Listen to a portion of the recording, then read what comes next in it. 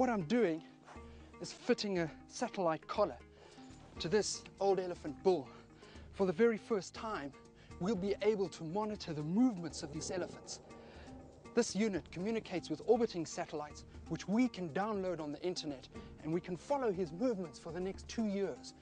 It's an amazing example of how we can track elephants in cyberspace and how state-of-the-art technology is being used to save one of Africa's largest terrestrial mammals, the African elephant.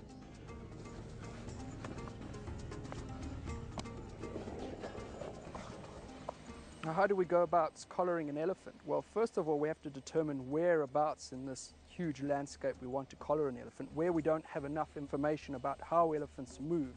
Typically, we try and find the largest female elephant in a herd. She's the grandmother, she's the oldest, wisest matriarch, and her movements typically represent how the other individuals in the herd are moving. So we'd like to collar her.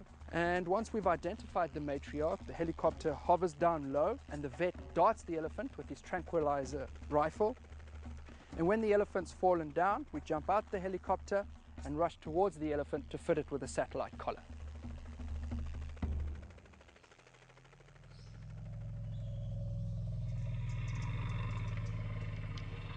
We've just collared this old matriarch She's the leader of her family unit. We suspect she's about 45 years old. She's heavily pregnant and we've collared her in the Okavango Delta. We're going to be able to monitor her movements for the next two years as she roams across this wetland oasis. She's in a wonderful condition and I suspect that's because she has lush green vegetation to feed on. She's an ambassador for conservation, she's a matriarch, she's a flagship species, and she's going to lead the way for us to help secure conservation land for her, her family unit, and Botswana's 150,000 elephants.